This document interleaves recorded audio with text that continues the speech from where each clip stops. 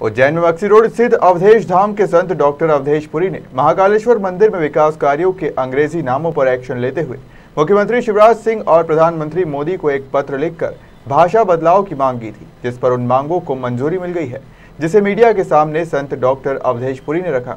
उज्जैन के विश्व प्रसिद्ध महाकालेश्वर मंदिर में विस्तारीकरण का कार्य चल रहा है। यहाँ इन कार्यों को अलग अलग नाम दिया गया है, जिसमें प्रमुख नाम Mahakal plaza Mahakal corridor, Mahakal kiosk इत्यादि है। इन नामों को लेकर पूर्व में मक्सी रोड स्थित अवधेश धाम व महानिर्वाणी अखाड़े के संत डॉक्टर अवधेश पुरी ने आपत्ति जताई थी। संत ने मुख्यमंत्री और प्रधानमंत्री को एक पत्र लिखकर कहा था कि भारतीय संस्कृति को ध्यान में रखते हुए इन नामों को हिंदी में रखा जाए। वहीं संत ने सोमवार को जानकारी देते हुए बताया कि उनके पत्र के माध्यम से उठाई गई मांगे प्रधानमंत्री व मुख्यमंत्री ने मान ली है। अब महाकालेश्वर मंदिर विस्तारीकरण के कार्यों के नाम हिंदी में होंगे। हाल में परमहंस डॉक्टर अवधेशपुरी स्वस्तिक पीठाधीश और स्वस्तिक पीठ उज्जैन से।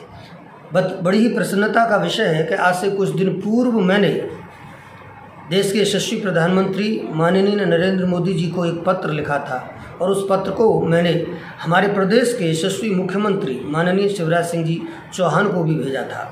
मेरा विषय था कि जैसे काशी विश्वनाथ कॉरिडोर नाम रखा अंग्रेज़ी में, Mahakal corridor Mahakal ticket kiosk, Mahakal plaza, इस प्रकार के जो महाकाल मंदिर के निर्माण कार्यों के नाम अंग्रेज़ी में रखे गए थे, मैंने उस चीज़ का विरोध किया था।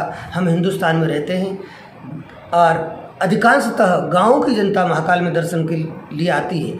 अगर कोई 80 साल की बुढ़िया ये पूछे कि महाकाल टिकट कियोस्क क्या है या कहाँ है तो न तो वह बेचारी बोल पाएगी और वो किसका इंतज़ार करेगी वहाँ का कोई उसको बताए। भक्तों को बड़ी दिक्कत आएगी।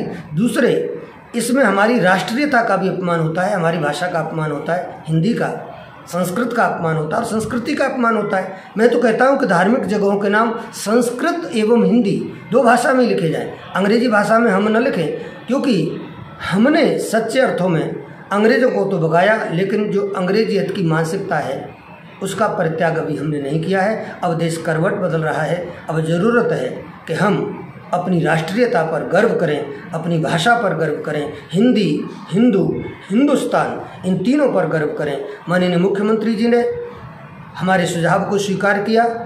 स्थानीय विद्वानों ने, स्थानीय बुद्धिजीवी वर्ग ने हमारी इस मांग का समर्थन किया था। मैं सबके लिए बहुत बहुत धन्यवाद दूँगा। आभार व्यक्त करूँगा। इससे निश्चित रूप से हमारी हिंदी का सम्मान बढ़ेगा, सनातन संस्कृति का सम्मान बढ़ेगा और राष्ट्रीयता का भी सम्मान बढ़ेगा। जय श्री महाकाल। उज्जैन से विमल बेंडवाल की रिपोर्ट।